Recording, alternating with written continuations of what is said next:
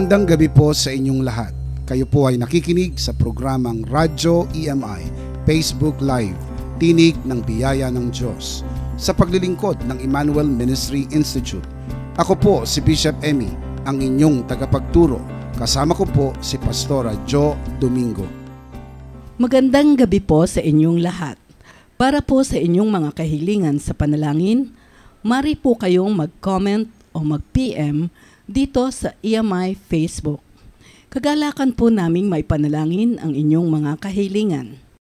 Bago po tayo magpatuloy, narito po si Bishop Emmy para sa isang paanyaya.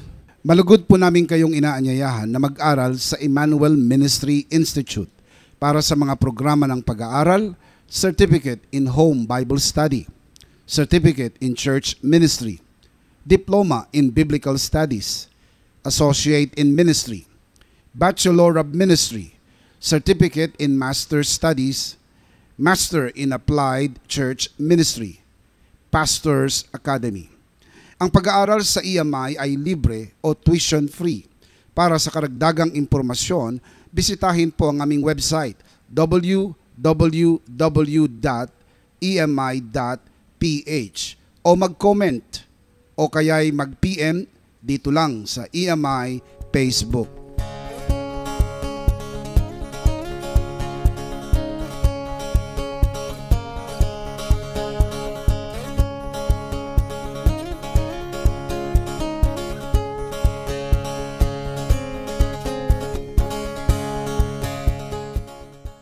Samahan po ninyo kami sa gabing ito sa pag-aaral ng salita ng Diyos.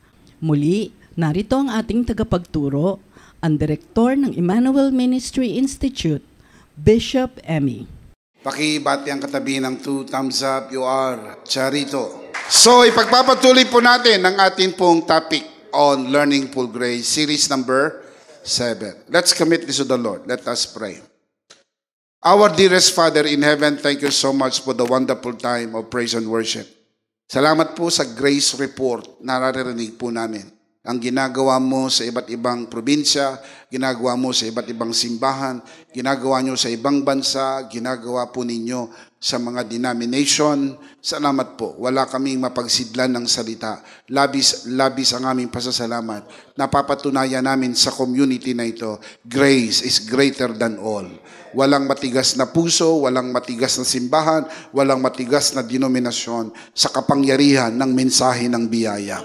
Salamat sapagkat binigyan niyo po kami ng platform and opportunity upang maitawid ito sa pamagitan po ng ministry ng EMI na nagpo-provide ng training sa mga pastors, workers, and leaders.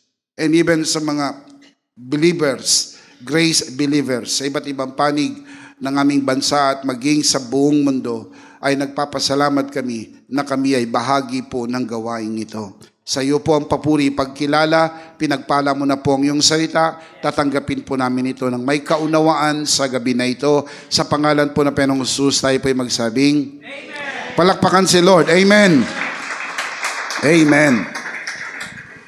Sa gabi na ito ay sasagutin po natin ang tanong, Now that we are under grace, are there laws under grace? Meron pa bang kautusan sa ilalim ng biyaya? Kasi naririnig nyo kung minsan that grace empowers you to keep the laws. Ganyan sinasabi ng iba. Oh, ang biyaya, pinapalakas ka para sundin mo ang kautusan. Na hindi po. I say no to that. Grace was not given to empower us to keep the law because grace is greater than the law. Hindi po tayo binigyan ng biyaya para palakasin at sundin ang kautusan. Ang biyaya po ay binigay sa atin para mamuhay tayo higit kaysa hinihingi ng kautusan. Ano man ang nire-require ng law, grace can do even much better and even much more. Kaya po ang tanong, ngayong nasa ilalim na tayo ng biyaya, nasa ilalim na po ba tayo ng biyaya? Mayroon pa bang kautusan? Ano po ang sinasabi ng Biblia tungkol po dito? Now, let me just answer this question. Now, to some of you, probably you have heard some of this, don't worry. Huwag kayong maglala. Walang overdose sa grace. Wala po. Kung narinig mong minsan, narinig mong pangalawang beses, pangatlong beses, that will be to your advantage. Lalo na kung pastor ka. Sapagkat repetition brings retention. Pag naririnig mo, nare-remember mo, nare-refresh ka, nare-reinforce ang truth. Sapagkat pag ito'y namakat sa iyong kaisipan, you will come to the point that you can easily explain it even without notes. Sapagkat nasa isip mo na, kahit tanungin ka, kahit anong oras, this oras ng gabi, ginising ka, o kaya ay ginulat ka, hindi ka na kayang gulatin. Dati magugulatin ka. Pag sinabi sa'yo, oh, magpipreach ka na, kailangan sinana, sana, sa, sa, sa, sana, sana sinabi isang taon pa. Oh. oh. Di ba? Eh, kadalasan, sinasabi yan, isang araw bago dumating. Oh, oh di ba? Pa, pa, pa, pa, pa, paano na to? Oh, di ba? Hindi mo ngayon alam, nagugulat ka. Pero dahil sa palagi mo nang naririnig, alam mo ang mensahe, hindi ka nagugulat. Hindi ka nagugulat. Di ba? Pag atin magpipreach, ha? Oo, magkano? Ay, sorry. Mag, ah, oh, di ba? hindi, hindi ka na kayang gulatin sapagkat alam mo na ikaw ay hindi kailangan mag-imbento ng mensahe. Isa lang ang mensahe at ang mensahe tungkol sa biyaya ng Panginoon. So let's look at this. 1 John chapter 3 verse 22. And whatever we ask, we receive from Him Whatever we ask, we receive from Him, because we keep His commandments and do those things that are pleasing in His sight. First, you have to observe yung word na because. Hindi po if. Ano po ang difference ng because sa if? Ang sabi po rito, whatever we ask, we receive from Him, comma, because. Because is a reason, if is a condition. Hindi po sinabing whatever we ask, we receive from Him if. Now, hindi po. Ang nakalagay po ay because. Ano po ang ibig sabihin kung bakit because ang nakalagay? The reason why because is here and not if, because reason presupposes, inaasahan, ini-expect, ina-assume, presupposes that you keep the commandments. Hindi po if. Ang if po ay nagsaset ng condition. Ang reason po nag-presuppose ng assumption of regularity. Meron pong tinatawag sa law na the assumption of regularity unless there is a clear point of irregularity. Ibig sabihin, hindi mo isipin hindi regular kung wala ka nakikitang irregularity. Dapat ang condition ng mind mo, it is regular. That is why, because, dahil ang assumption, kung ikaw ay nakatanggap na ng biyaya, ang pagsunod ng kautusan o mga kautusang nabanggit po dito ay normal na sa iyo. Hindi ka kailangan pilitin, kusa at bahagi na ito ng iyong buhay. Pero napansin niyo po yung word na keep, pagsunod sa kanyang mga utos. Kaya iniisip ng iba, pag binasa ito sa casual reading, kita mo eka, Bisa pa, nasa New Testament ito, nasa New Covenant ito, pero may binabanggit pa rin na sundin ang kanyang mga utos. Natatanggap natin ang anumang atin hilingin mula sa Panginoon sapagkat sinusunod natin ang kanyang mga utos. Hindi po kung sinusunod natin ang kanyang mga utos. Dahil, because we keep His commandments. Now, hindi po natin pwedeng itago sa Bible yung po mga verbs like keep and do. Bahagi po yan ng scripture. Pero aral po kayo, narinig nyo na to ng maraming beses, na ang biyaya po ay hindi dinadagdagan ng gawa, ang biyaya mismo ay gumagawa. Remember? 1 Corinthians 15, 10? Sabi ni Paul, I work harder than all of them, yet not I, but the grace of God that was within me. Nung matanggap mo ang biyaya, hindi ito rason para ikaw ay maging tamad, hindi ito rason para ikaw ay mamuhay sa kasalanan, hindi ito rason para ikaw po ay maging sutil, suwail, hindi ito ang rason o lisensya para tayo maging masuwayin, bagkos ito po ay puwersa upang masunod mo kung ano man ang dapat sundin, magawa mo kung ano man mga dapat gawin, sapagkat yung biyaya ay puwersa para ikaw ay makagawa higit kaysa anumang hinihingi ng kautusan. Another important word there is the word commandments. Na hindi po ito tumutukoy sa Ten Commandments. Sigurado po ako, I can assure you, hindi po ito tumutukoy sa Ten Commandments.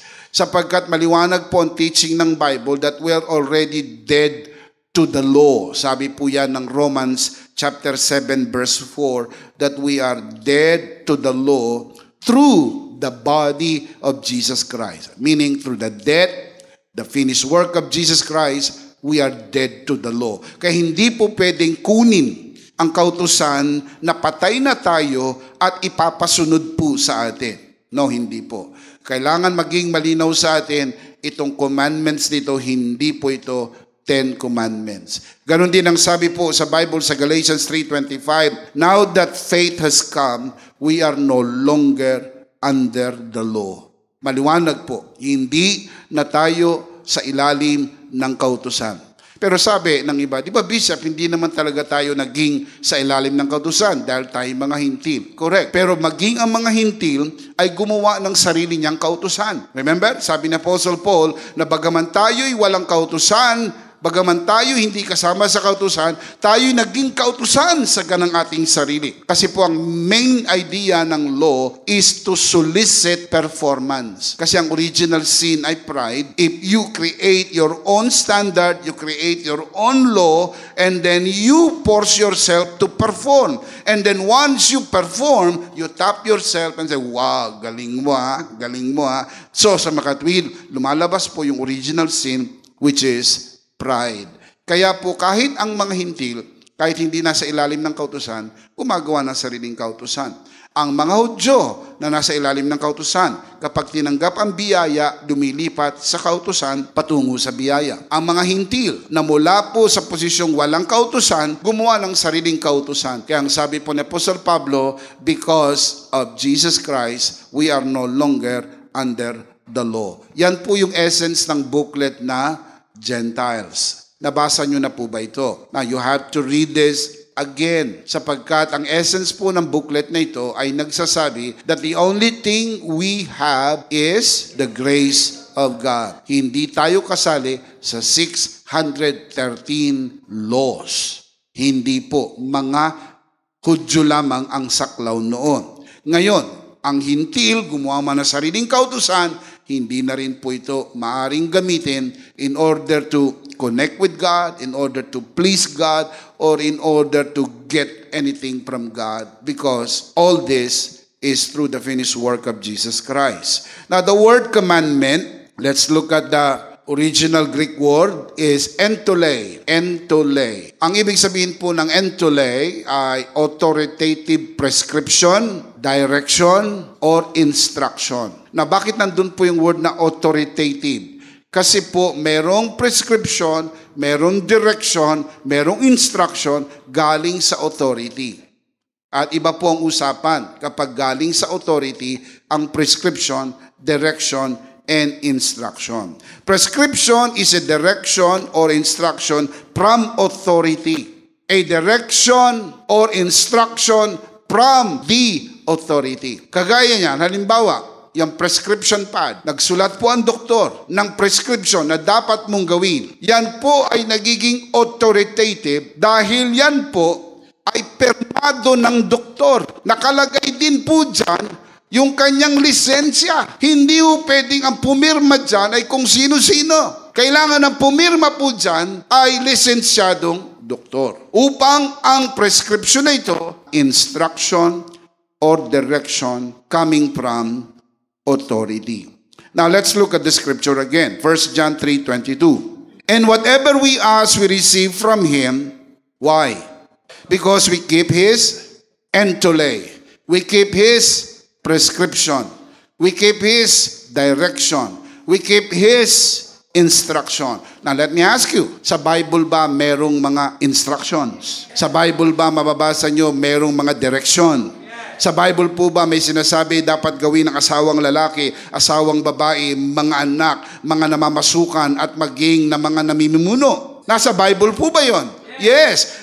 Hindi ko mo ikaw ay nasa ilalim na ng biyaya, ay isa sa isang tabi mo itong mga instructions na ito. Mga dapat gawin. Hindi ho para maligtas. Dahil ikaw ay ligtas na. Hindi ho para pagpalain. Ikaw ay pinagpala na. Always put this in your mind, na ang iyong kaligtasan ay hiwalay sa iyong performance. Ang iyong pagpapala hindi premyo ng iyong performance. However, now that you are truly saved, now that you are truly blessed and highly favored of God, hindi naman yun excuse para sabihin mo, ay, hindi ko nasundin ang mga instruction na yan. Dahil ako'y pinagpala na, ako'y pinabura na, ako'y ligtas na sapagkat makikita po natin na whatever we ask, we receive from Him because we keep His entole.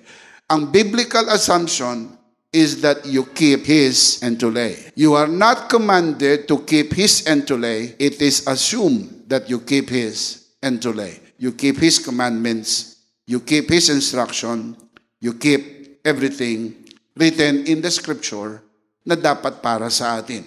Hindi lahat ng nababasa nyo sa Bible ay para sa inyo. Lahat po ito mapapakinabangan natin ayon sa pagkasi ng banal na Espiritu. Pero meron po kayong mababasa sa Bible particular para sa mga Hudyo. Meron po kayong mababasa sa Bible particular para sa mga Hintil. May mababasa rin kayo sa Bible particular para sa simbahan. So you have to find out in the scripture ano yung para sa mga Hudyo, ano yung para sa mga Hintil, at ano yung para sa simbahan the church of God preparing to us and very clear in the scripture. Now look at the scripture again. Look at the next line. Do those things that are pleasing in His sight. Yung word po na pleasing, ang Greek word na ginamit ay arestos, which means agreeable. It means agree with God.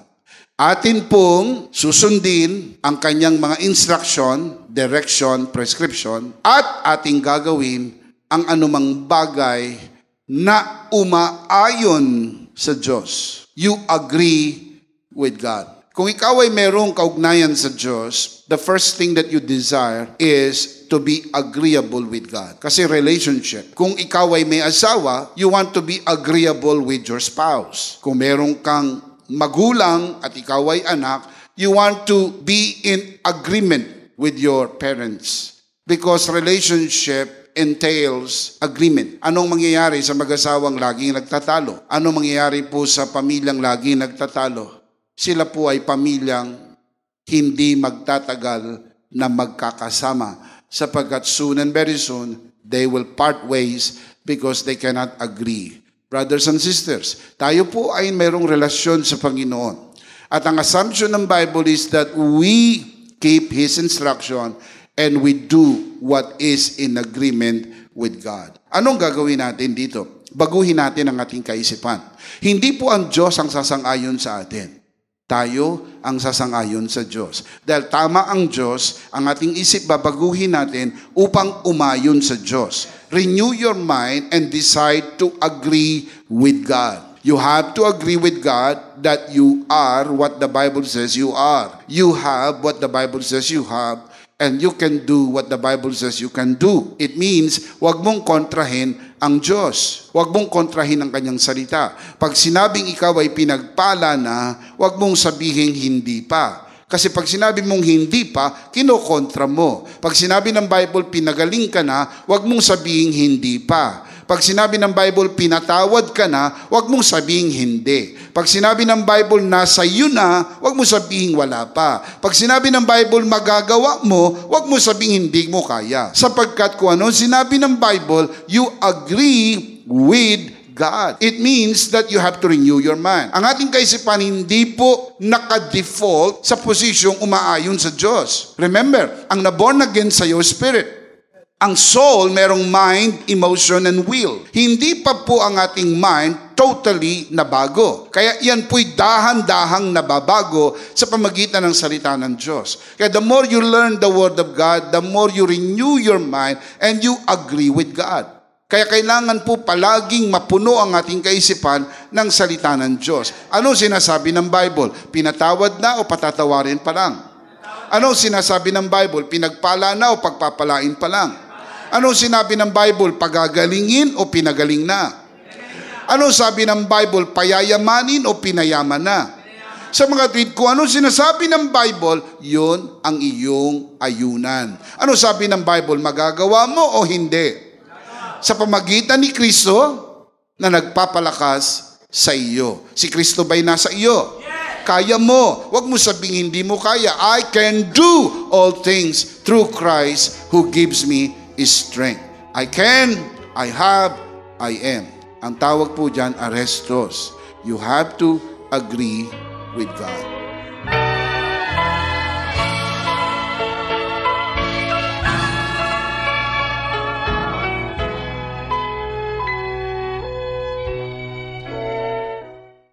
Maraming salamat po sa inyong pakikipag-aralan sa amin.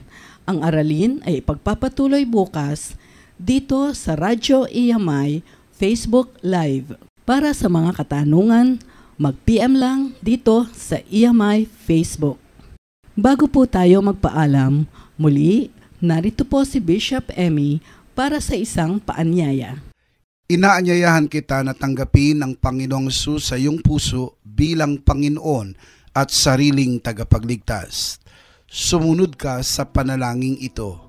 Panginoong Hesus, ako po'y makasalanan. Hindi ko kayang iligtas ang aking sarili. Ako'y mapapahamak ng hiwalay sa iyo. Ako po'y naniniwala na ikaw ay namatay at muling nabuhay, umakyat sa langit at muling babalik. Patawarin mo po ako sa lahat ng aking kasalanan tinatanggap kita sa aking puso bilang Panginoon at sariling tagapagligtas. Amen. Amen.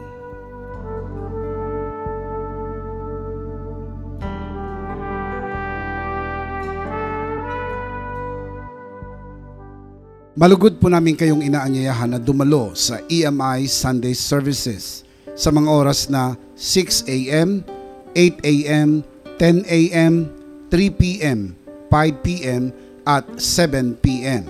Sa EMI Center, NLEX, Valenzuela Exit, Paso de Blas, Valenzuela City.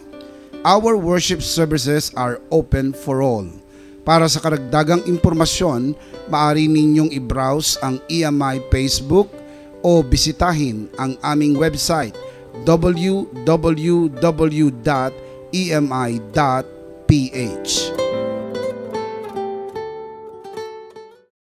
Si Bishop Emmy ay sumulat ng mahigit na isandaang booklets para po sa karagdagang impormasyon at iba pang mga produkto ng EMI, bisitahin ang Facebook ng Charito Shop at makipag-ugnayan kay Miss Cham Domingo. At sa aming pagwawakas, muli ang programang Radyo EMI Facebook Live tinig ng biyaya ng Diyos ay paglilingkod na ginagawa ng Emmanuel Ministry Institute na matatagpuan sa NLEX, Valenzuela Exit, Paso de Blas, Valenzuela City. Para sa karagdagang impormasyon sa gawain ng EMI, maaari ninyong i-browse ang EMI Facebook o bisitahin ang aming website www.emi.ph.